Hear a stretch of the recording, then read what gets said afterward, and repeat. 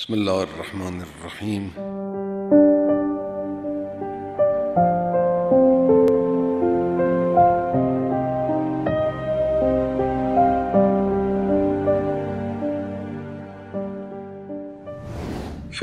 فی عن الباقر علیه السلام. این بابی است که ایشون باز کردن با عنوان مواعظ رسول الله. صلی الله علیه و آله سمعت جابر ابن عبدالله حضرت باقر میفرمایند. روایت می‌کنن ایشون از جابر ابن عبدالله. سند روایت هم نگاه کردم من سند خوبی است سند معتبری است. سمعت جابر ابن عبدالله یقول ان رسول الله صلی الله علیه و آله مر بنا ذات یوم و نحن فی نادینا. نادینا نادی یعنی همون مجمعی که میشینن حرف می‌زنن. جمع شده بودیم مشغول گفتگو بودیم گعده کرده بودیم. این معنای نادی اینه. لزوما هم به یک نقطه معین و خاص نمیگن. تا وقتی دور هم نشستن اسم اینجا نادی است. وقتی از هم متفرق شدن دیگه نادی نیست. و هو علا ناقته. حضرت سوار شطورشون بودن. عبور کردن از کنار ما و ذالک حین رجع من حجت الوداع. پس بنابراین این جزو آخرین وسایای پیغمبر به اصحابش هست.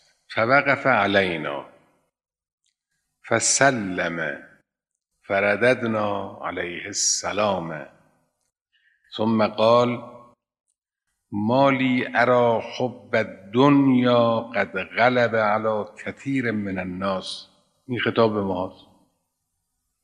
درست درباره ما این حرف گفته شده.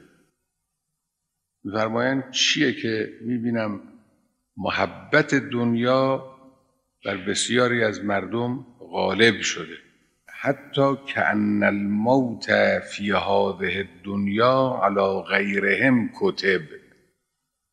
گویا مرگ برای اونها نیست برای دیگران مرگ مقرر و معین شده است. بنا نیست بمیرن. اینجور مکب بر دنیا و محب دنیا. بنا نیست که انه جدا بشن از دنیا. و کأن الحق فی هذه الدنیا علی غیرهم وجب. این حقوقی که مردم دارن مسلمان ها دارن گویا بر اینها واجب نشده است این حقوق. بر دیگران این حقوق مقرر و واجب شده است.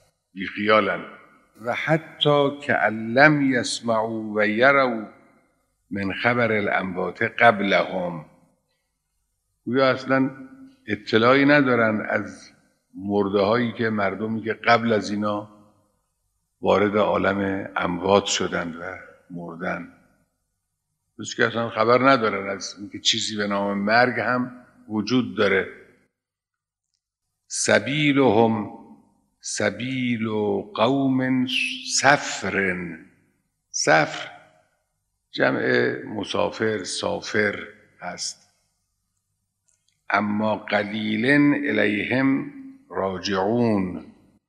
گویا خیال می‌کنن حالا اینجور معنا کردن چون شبیه این در نهج البلاغه هم هست معیدی هم از نهج البلاغه برای این معنا ذکر شده که گویا اینها خیال می‌کنن که این مرده هایی که رفتن این مرده مسافرانی هستن که به زودی برمیگردن به طرف اینا.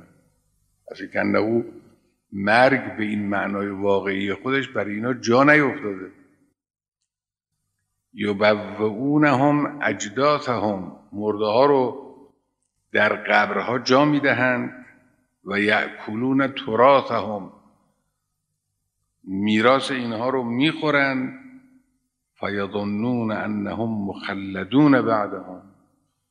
خیال می‌کنن که خودشون بعد از این مرده ها تا ابد بناس در دنیا بمانن تصورشون اینه.